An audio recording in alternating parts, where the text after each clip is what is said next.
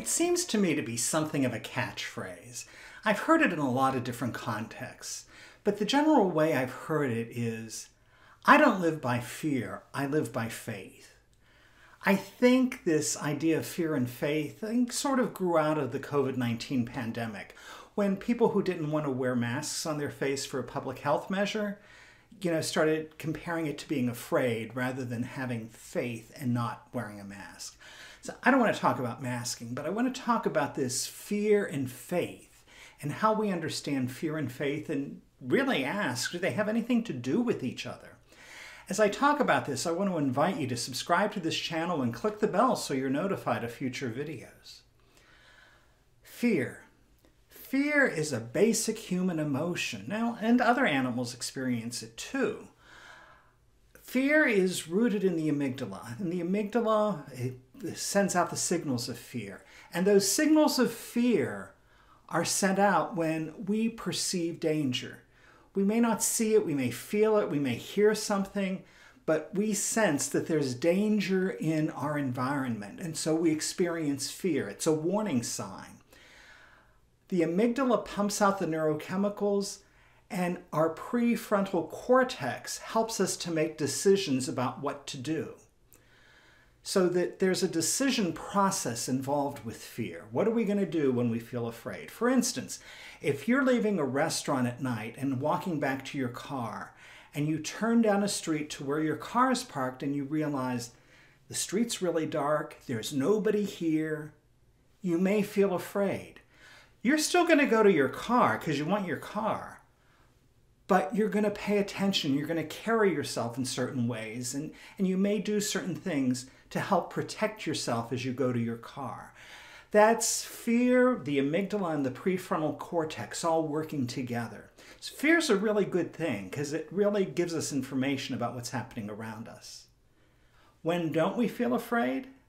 We don't feel afraid when we're secure, when we're safe, when we know that everything's okay when we have that feeling of safety, there's no need for fear.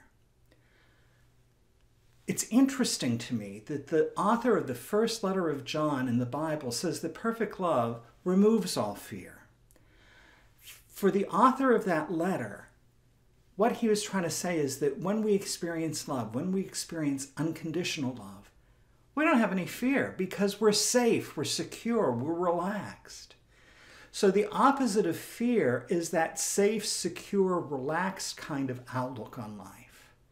So that's where fear really comes into play. Fear is important for us. It's good to feel afraid. It should alert us to how to make the next step in, in whatever it is we're doing. Faith. I think most people misunderstand faith. They think that faith has to do with certainty I know because I know because I know kind of talk. That's not faith. We know things to be true because they're observable facts. For instance, the sun rises in the east and sets in the west. It does it every day. We can see it, we know it's going to happen. It's an observable fact.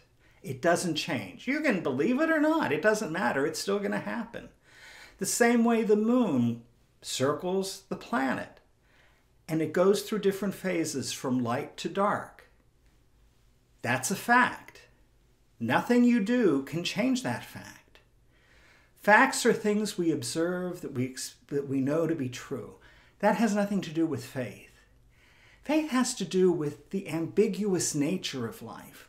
We often want to think that life fits into clear categories, that it's good or bad, that it's right or it's wrong, that it's this or it's that.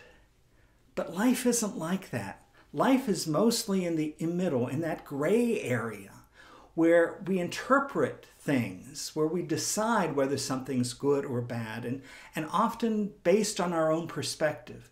For instance, if a storm blows through your neighborhood, if your house goes through the storm and no damage, that's a good thing. But the neighbor down the street had a house, had a tree fall on their house. Well, wasn't so good for the neighbor now, was it? Was the storm good or bad? Well, it was ambiguous. You get a new job, you're excited, you got the job you want. But you know, probably lots of other people didn't get that job, and maybe someone really needed that job. Good and bad, right and wrong. Most things are ambiguous depending on your perspective. That's where faith comes into play. An important part of my faith is my continual belief that life is fundamentally good, that there's something rich and beautiful and wonderful about life. I've been through some difficult things in life. I've talked about that in other videos. But despite the difficulties I've experienced, despite the hardship I've seen, I still believe that fundamentally there is goodness in life.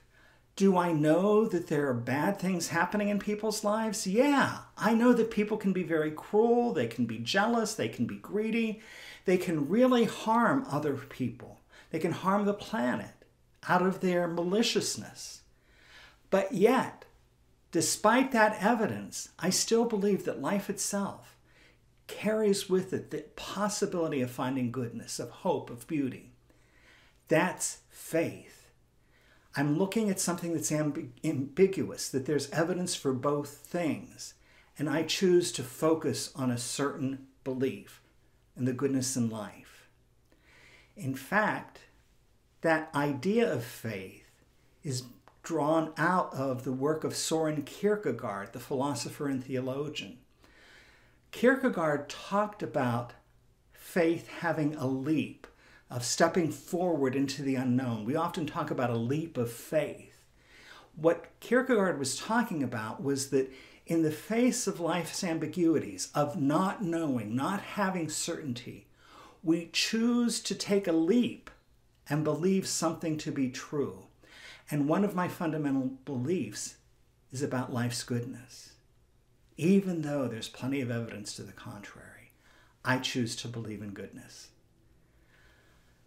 So faith and fear, they're really not related to each other. Whether we're in fear or not, we still have the opportunity for faith. And because I believe in life's goodness, I still wear a mask when I'm out in public. Not because anyone else needs to, but because I want to protect my own life and the life of other people. I don't want anybody to get sick. So I make a decision out of faith that this is a good thing and a way to engender life, to protect life. And you can make your own decisions. The point is that choosing goodness and life and faith leads us to be aware of how we walk in the world and how we carry ourselves. Thanks for your time today. Be sure to subscribe to this channel, like the video, share it with others, leave me some comments, and know that I appreciate the time you spend with spirituality beyond borders. Have a great day.